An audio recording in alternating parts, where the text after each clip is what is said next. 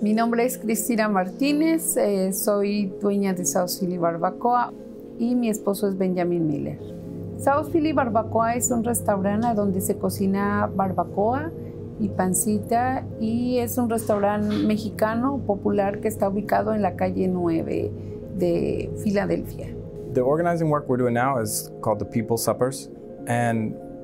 what we're doing is using the, the cultural platform that restaurants have um, to organize people to come to events and then use that opportunity to advance some social justice um, ideals and hopefully that we can affect some policy change through this different sort of organizing of the people.